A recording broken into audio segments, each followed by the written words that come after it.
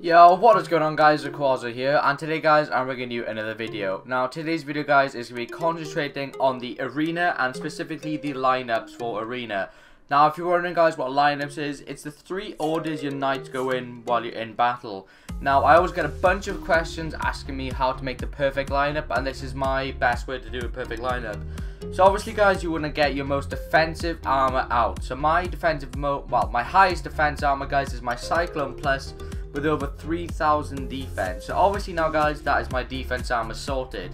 Now you have Sandstorm, you have, you know, I can't list how many defensive armors are in this game, but you're going to have to put your most defensive first. Now, as you can see, guys, that is a mono wind. Now, if you look down here where the ele elemental advantages are, you can see that earth will beat wind. So what my objective is, guys, is to beat that earth, which will counter my first knight. So what I'm going to have to do is get a spirit armor. Now, luckily, guys, I have undead robes, which is a very strong spirit armor. Now, that obviously, guys, is going to be the counter for my their first knight. Now, guys, if they have made their lineup correct like I've done mine, their second armor guys is gonna well my armor that's gonna counter mine is going to be a fire and spirit. Now obviously guys that's forge stone. So what I'm going to do guys I'm going to look for an armor that counters forge stone which will be fire and water. Now luckily guys I have Vhagar Raiment, which is a fire and water armor.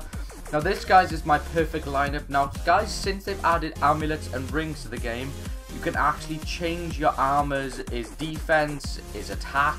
Now, as you can see guys, my Vaga Raiment is meant to be a pretty balanced armor, but as you can see, the rings I'm using is for attack, and then my amulet I'm using is for defense, and attack even. I think they're both attack, so now that there's these sort of amulets and rings in the game, guys, you can really alternate armors to be able to become stronger. So, say if you had an attack armor, you could really make that a defense armor if you have the right amulet. So if you like an armor, you want to make it a defensive armor, go ahead and do that. Then you can use your other knights to go with it, really.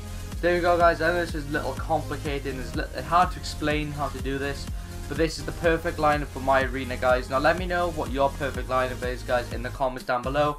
Thanks, guys, for watching. Please rate, comment, subscribe, and peace out, guys.